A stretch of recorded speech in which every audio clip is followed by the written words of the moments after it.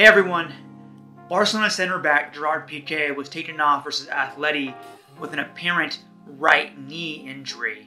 There's two major concerns here. The first is an MCL injury with that knee being driven inwards into what's called a valgus position.